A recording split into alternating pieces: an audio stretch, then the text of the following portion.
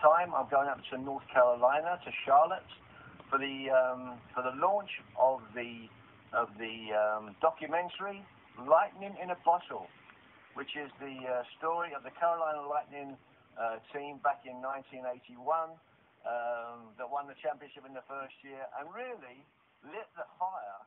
for what has become soccer in the Carolinas, Tommy.